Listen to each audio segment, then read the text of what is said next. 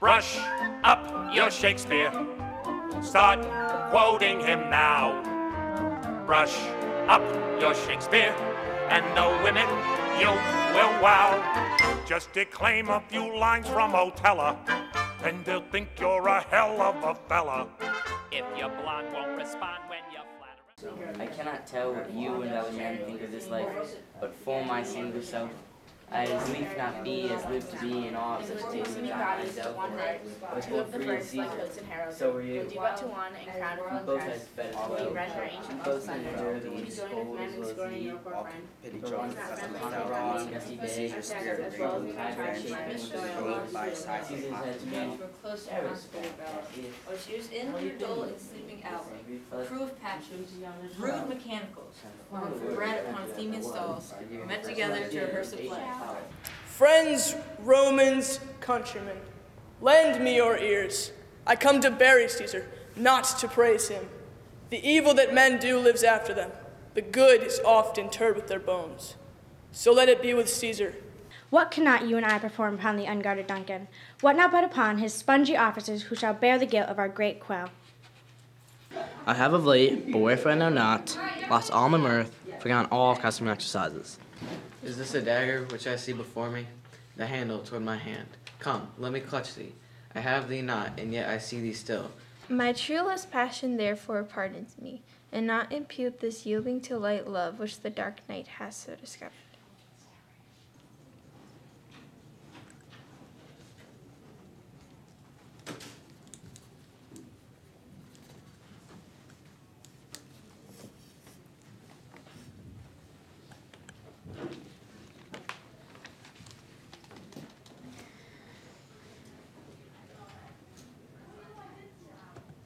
Lo, she is one of this confederacy.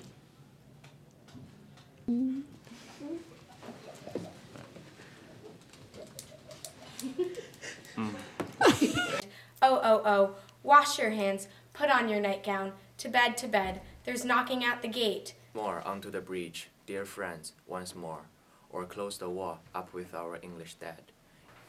A fool! A fool! I met a fool in the forest! A motley fool. A miserable world. As I do live by food, I'm met a fool. But we in it shall be remembered. We few, we happy few, we band of brothers. For he that sheds his blood with me today shall be my brother. Great ill disposed and brawl ridiculous the name of Agincourt. Yet, sit and see, minding two things by what their mockeries be. But Romeo may not. He is banished. Flies may do this.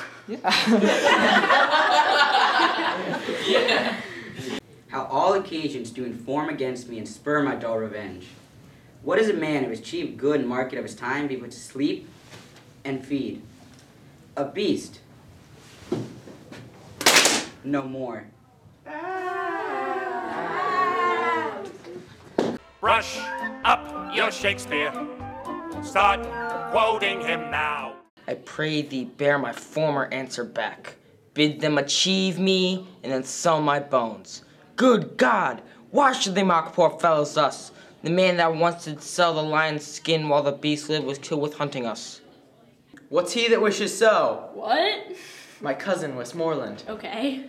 Romans, countrymen, and lovers, hear me for my cause and be silent that you may hear.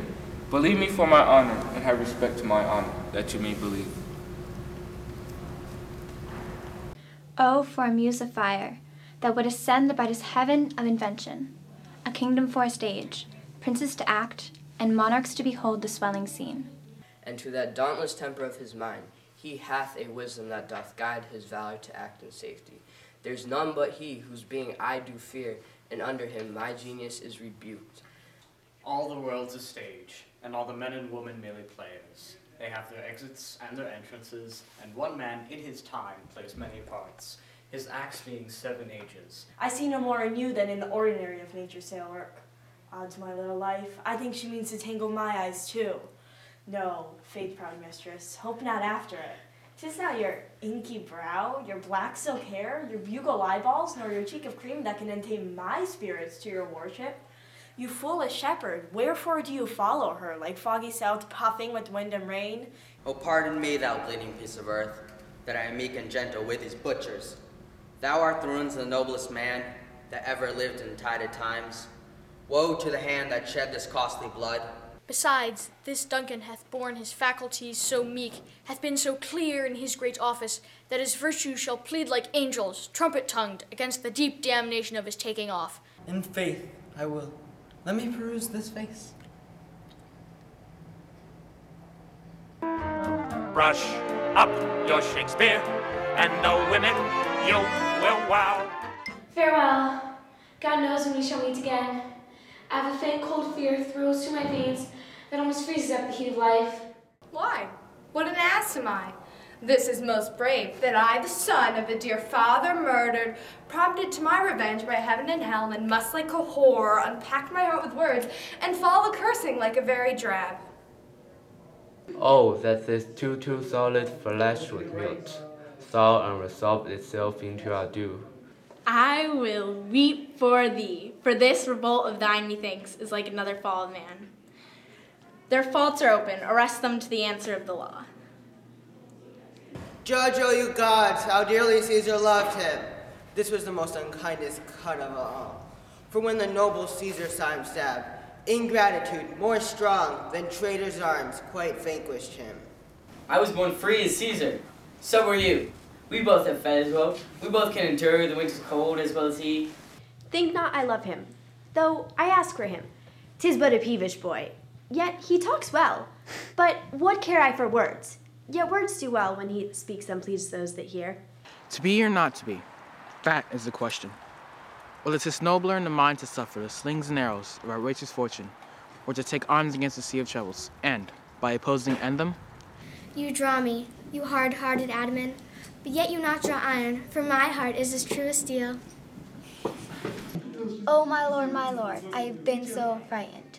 My lord, as I was sewing in my closet, Lord Hamlet, with his doublet all embraced, no hat upon his head, his stockings foul. But Romeo may not, he's is banished. Flies may do this, but I from this must fly. They are freemen, but I am banished. And sayest thou yet that exile is not death?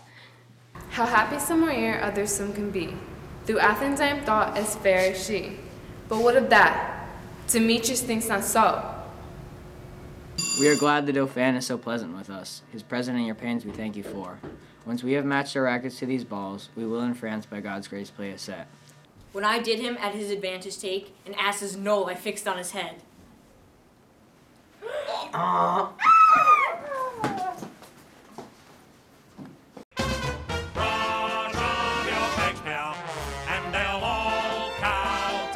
Brush up your